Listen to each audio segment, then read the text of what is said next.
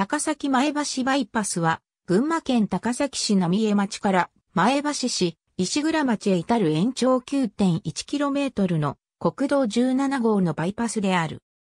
高崎市鳥屋町西付近で上越新幹線、北陸新幹線と前橋市石倉町付近で上越線と交差する。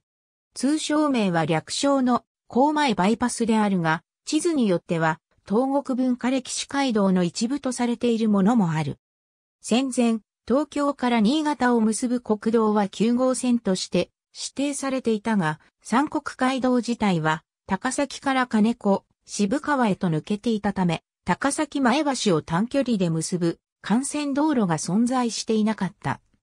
このため、当時の高崎連隊と群馬県庁を連絡するために、1931年に現在の群馬県道12号前橋高崎線に当たる道路が整備された。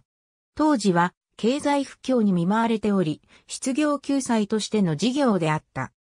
この路線は高崎市飯玉町から前橋市石倉町の間の 6.5km で、市街一部は各福、郊外は振動として福音8から9メートル、舗装は歴製入材マカダム舗装で施行された。高前バイパス開通までは前橋振動と呼ばれた。こうして整備された道路も戦後には福音が狭い道路として幹線道路としての機能に支障をきたしていた。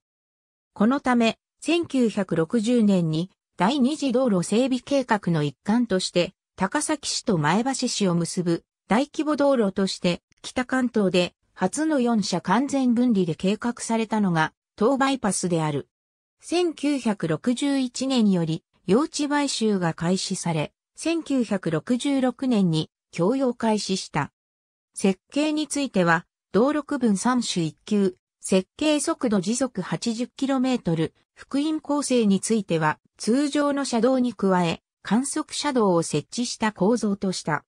当初は自動車専用道路とする案もあったが、速度を含めると福音が大きくなってしまうため、高観測交通を分離できる構造となったものである。計画当初の交通量は1日8500台であったが、1964年には石倉町付近で1日2万台を超えるようになった。このため、早期開通を望む声が上がり、舗装工事が仕上がった高崎市下小鳥町から前橋市石倉町までの 7km については、1966年2月に片側供用を開始した。沿道には、起点から終点まで、郊外型大型店や自動車販売店等が立ち並ぶ。